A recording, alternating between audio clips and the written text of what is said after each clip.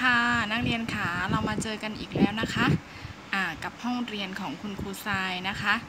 เรามาเจอกันในเรื่องการผันอักษรสามหมู่นะคะเรามาดูก่อนนะว่าเรื่องนี้ เราจะได้เรียนอะไรบ้างนะคะ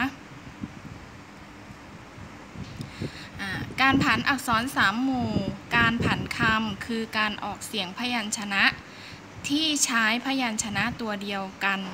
และสระเสียงเดียวกัน แต่เสียงวรรณยุกต์จะเปลี่ยนไป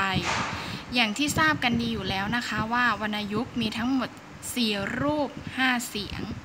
ได้แก่ สามัญเอก โท ตรี จัตวา นะคะะตัวอย่างก็เช่น ดวง ดวง ด้วง ดวง ดวงปาป่า ป้าป้า ป๋า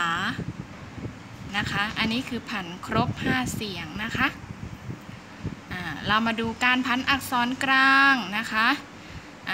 เราได้รู้กันไปแล้วอักษรกลางนะคะ จะเห็นได้ว่าอักษรกลางผันได้ครบทั้ง 5 เสียง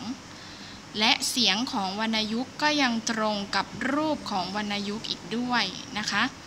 เสียงสามัญ เสียงเอก เสียงโท เสียงตรี เสียงจัตวา นะคะ ตัวอย่างนะคะกากากากากาอัมอ่ำอ้ำอ้ำอ่ำตายตายใต้ตายตาย นี่คือตัวตัวอย่างนะคะ ต่อไปค่ะ การผันอักษรสูงนะคะ จะเห็นได้ว่าอักษรสูงเนี่ยผันได้ 3 เสียง คือเสียงเอก เสียงโท และเสียงจัตวาเท่านั้นนะคะ ตัวอย่างค่ะฟังฟั่งฝัง ทีที่ถี ข่าวข้าวขาว อ่า นะคะ ต่อไปค่ะ การผันวรรณยุกต์อักษรต่ำคำที่มีพยัญชนะต้นเป็นอักษรต่ำผันเสียงวรรณยุกต์ได้ 3 เสียงคือ สามัญ โท ตรี นะคะ ตัวอย่างนะคะออย่างเช่นคำว่าคู่นะคะคูคู่คูคำว่าย่านะคะ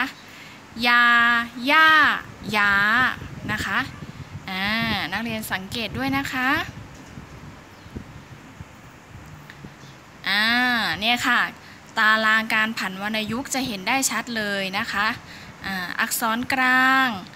จะได้สามัญเอกโทตรีจัตวา อักษรอักษรสูงได้เอกโทสามัญอักษรต่ำจะได้สามัญเอกโทนะคะอันนี้คือตัวอย่างใบงานนะคะที่คุณครูจะให้ทำนะคะอ่านี่คือตัวอย่างของใบงานนะคะนักเรียน นักเรียนสามารถลอกลงในสมุด และก็ทำแบบฝึกหัดนี้ได้เลยนะคะจบแล้วนะคะ เดี๋ยวเราเจอกันใหม่ในคลิปต่อไปค่ะ